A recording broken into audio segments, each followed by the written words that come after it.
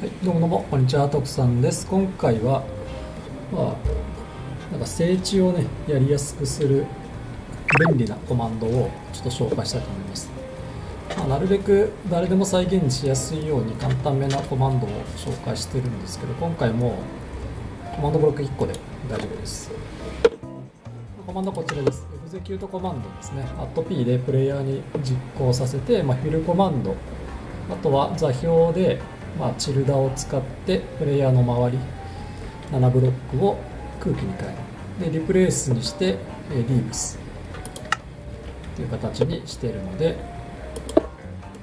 まあ、反復ですね。反復無条件、まあ、常にアクティブかレッドストーンが必要にしておくといいと思います、はい。こうしておくと、まあ、プレイヤーの近くの葉っぱだけがこう空気に変わるんでか葉っぱだけこう取りたい時とか便利なんじゃないかなと思います、なんか歩きながらねバーッと消せるんで。もちろんこれ遠くに行けば行くほど行こう行くほどっていうか遠く行っちゃうとコマンドブロックが有効にじゃなくなっちゃうんでこの場合はこの辺で動かなくなっちゃうんでそうしたらティッキングエリア使って設定してもらえると。いいかなと思います。ティッキングエリアのコマンドは別の動画で紹介してるんですけど、まあ、こんな感じですかね。えっ、とテスト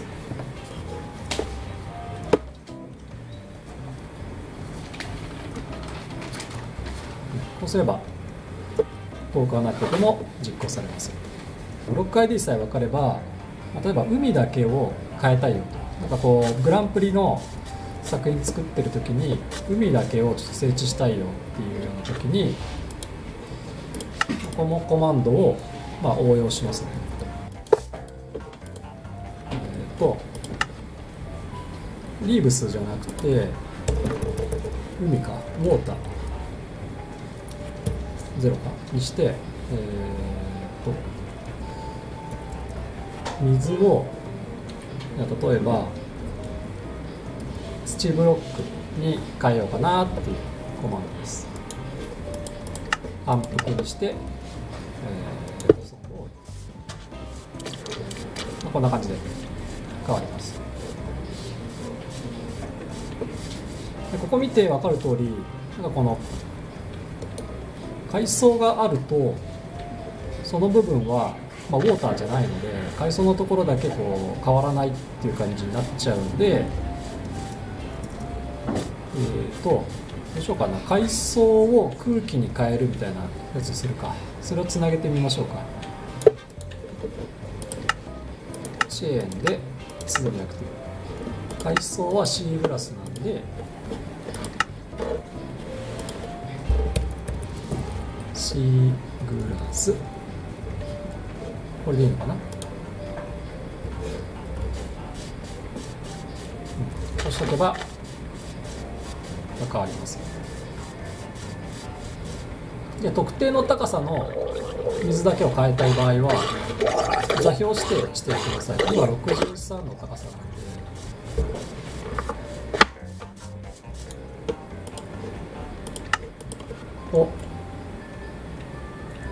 XYZ の Y のところを固定で入力しておくといいと思います。63の高さの63だよ62か。自分より1ブロック下の階数、えー、とブロックの水と階層を変えると。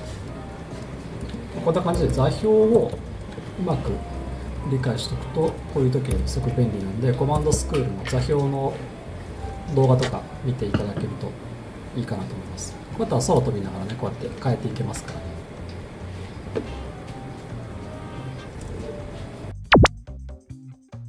はい、まあこんな感じでちょっと簡単めなコマンドなんで誰でもできるんじゃないかなと思います、まあ、もちろん Nintendo Switch でもできますので、えー、と実際ねちょっとやってみてください。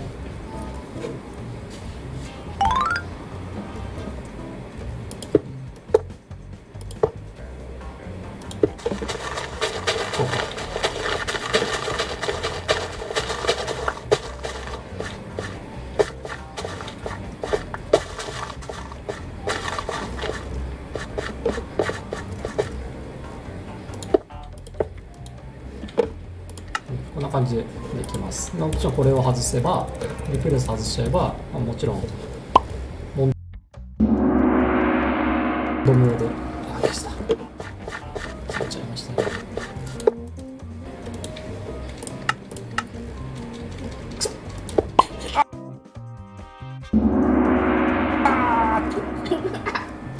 あきそう。